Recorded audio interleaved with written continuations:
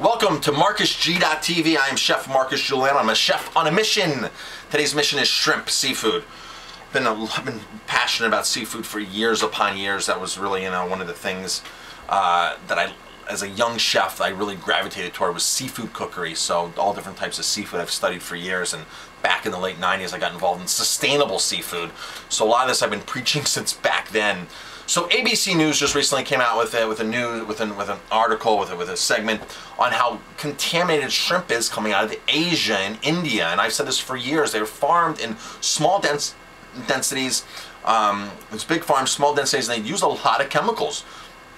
ABC went in and got samples out of several grocery stores, and they found out that it is contaminated with there's residuals of banned antibiotics. Some of these antibiotics have been banned for 40 years and they've been linked to cancer.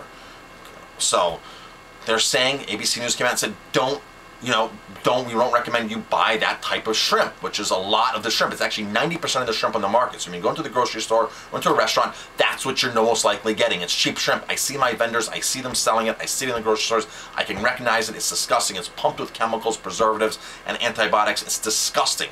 So ABC News goes on further to say you need to buy shrimp from the Gulf of Mexico. The Gulf shrimp are the best shrimp.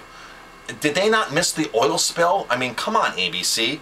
This oil spill was major. And where did the oil go? There's supposedly tar balls washing up. These they're toxic tar balls. I, have I've seen um, reports about that, how they tested these tar balls. They're, they're toxic. They're filled with chemicals. They pumped massive amounts of chemicals into the Gulf to combat the oil. So the Gulf is polluted. I don't care what the Louisiana Seafood Council and all these seafood councils, that's their job is to promote the seafood down there. And all these chefs that say, I'm not afraid of the seafood. I wouldn't touch anything out of the Gulf personally. It'll never be the same.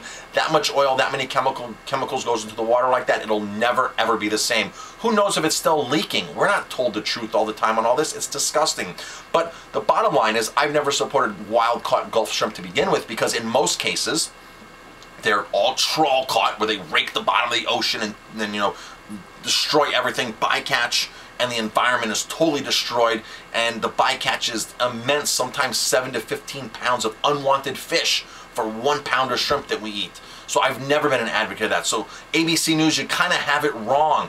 If you go to Monterey Bay Aquarium or go to Fish Choice, Fish Choice is great, fishchoice.com type in the shrimp you're looking for. It'll give you the sustainability ratings based on population, um, catch methods, all different things are factored into there. Um, personally, me, for shrimp, you know, I want farm shrimp, but I want it from certain places, like Ecuador, um, Mexico's even doing a great job, but each farm is individualized, especially when you go to Fish Choice, you can look up all the individual farms. The bottom line is if you want to eat shrimp, you've got to pay more for shrimp. Shrimp is one of those things where there's so much cheap stuff out there because 90% of the stuff, like I said, is imported cheap shrimp that I will never ever touch shrimp in a, in a restaurant, in a grocery store. I would never eat it. And if anybody asked me, I would tell them to stay away from it. You know, you want to pay premium, premium dollars for shrimp and make sure it's right. Go to fishchoice.com, check it out, do your research. And when you go to restaurants, tell them you don't want the cheap stuff because that's what they're buying. It's exactly what they're buying. I've seen it. for time. I've seen it for years. The cheap shrimp. Every seafood show I go to, every fish food show, it's cheap shrimp, cheap shrimp, cheap shrimp, cheap shrimp. That's all that it is. I pay a lot more for my shrimp at my restaurant. Um, so um, if you like shrimp, do some research, email me. If you like this video, hit click, click, hit like or subscribe, share it, pass it on. I appreciate it. Thank you guys very much for watching.